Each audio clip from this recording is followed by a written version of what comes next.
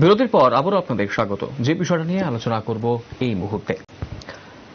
খার্চি পূজা আর মাত্র কয়েকদিন বাকি এবং তারপরেই পুরাতন আগরতলার চোদ্দ দেবতা মন্দির প্রাঙ্গণ হয়ে যাবে জাতি জনজাতির মিলন ক্ষেত্রে পরিণত হয়ে যাবে।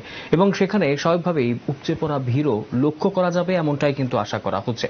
আমরা জানি যে গত দুই বছর ধরে খার্চি পূজা কিন্তু সেভাবে অনুষ্ঠিত করা সম্ভব হয়নি। নানান বিধিনিষেধ সেখানে ছিল। দর্শক যারা শরণার্থ ভক্তরা ছিলেন তাদেরকে মন্দিরে প্রবেশ করতে দেওয়া হয়নি। এইভাবেই কিন্তু একদম নিয়ম রক্ষার্থে পুজো করা হয়েছে চোদ্দ দেবতার। কিন্তু এবছর যেহেতু অনেকটাই কম রয়েছে করোনার প্রকোপ আমরা দেখেছি। রথের মেলাও কিন্তু খুব সুন্দরভাবে অনুষ্ঠিত হয়েছে এবং খার্চি পূজাও বেশ ভালোভাবে, যথাযথভাবে উদযাপিত হবে এমনটাই কিন্তু আশা করা যাচ্ছে। এই বিষয়টাকে সামনে রেখে সাত জুলাই থেকে যে শুরু হচ্ছে খার্চি পূজা এবং এই উপলক্ষেই এক সাংবাদিক সম্মেলনের আয়োজন করা হয়েছে। উপস্থিত ছিলেন সেখানে মেলা কমিটির চেয়ারম্যান তথা এলাকার বিধায়ক রতন চক্রবর্তী। বিস্তারিতভাবেই কিন্তু বিধায়ক রতন চক্রবর্তী বিস্তারিতভাবেই গোটা বিষয়টা তিনি জানিয়েছেন এবং এলাকার বিধায়ক কি বলছেন এই বিষয়ে শুনব। আমন্ত্রণ জানাচ্ছি সবাই যাতে একটু সাবধানতা অবলম্বন করেন এবং আমরা আবেদন জানাব, মাস্ক পরে যাতে আসেন, কারণ কোভিড এখনও শেষ হয়নি। কোভিডের খাওয়া কোথাও কোথাও বেড়েছে সেই দিক থেকে সবাইকে একটু সতর্ক থাকার আহ্বান জানাব।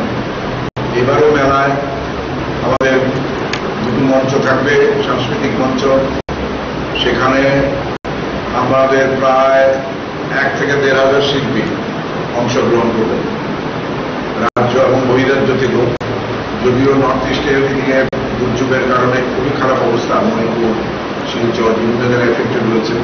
তবুও আমরা আশা করছি সাত তারিখের মধ্যেই একটা দল সেখানে এনজিওসিসিকে রিকোয়েস্ট করা হয়েছে পাঠানোর জন্য।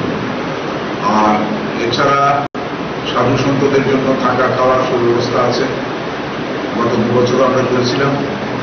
ফুড কোর্ট থাকবে, শিশুদের প্রতিযোগিতা থাকবে। তারপরে আপনার আনন্দ মেলা, বিভিন্নভাবে বাচ্চাদের বিনোদন করা সেগুলো অলরেডি ইনস্টল হয়ে যাচ্ছে।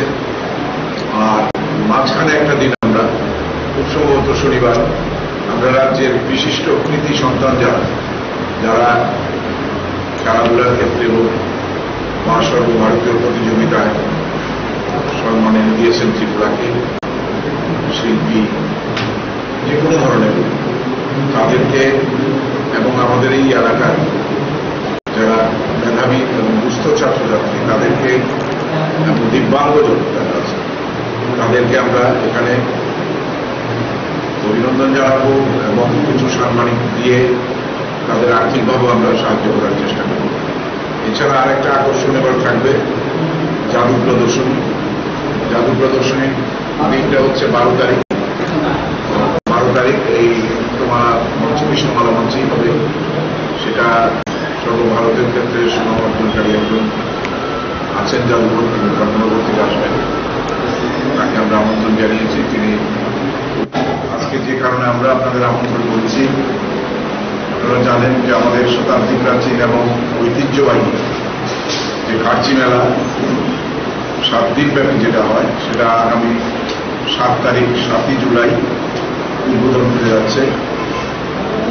এই প্রসঙ্গে বলে রাখা দরকার যে শুধু ত্রিপুরায় না নর্থ ইস্টেও কোথাও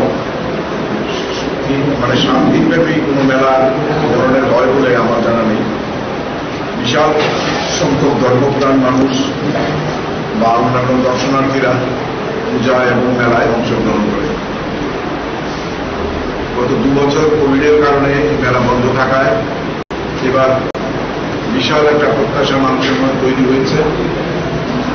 সেই কারণে আমরা ধারণা করছি যে এবার যদি প্রকৃতি আমাদের সহায়তা করে, তাহলে রেকর্ড সংখ্যক ভিড় এখানে হবে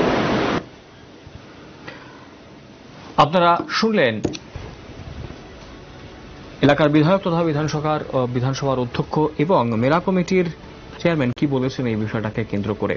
এবং বিভিন্ন রকম ভাবে প্রতিদিন কি কি অনুষ্ঠান হবে, গোটা বিষয়টাই কিন্তু বিধায়ক রতন চক্রবর্তী তুলে ধরেছেন। মেলা কমিটির চেয়ারম্যান অবশ্যই তিনি এবং সেই ব্যাপারে প্রত্যেক দিন কি কি অনুষ্ঠান হতে চলেছে এবছর যে ভালোভাবে, বেশ ভালোভাবে জাঁকজমকের সঙ্গে যে মেলা হবে সেটাও কিন্তু তিনি তুলে ধরেছেন।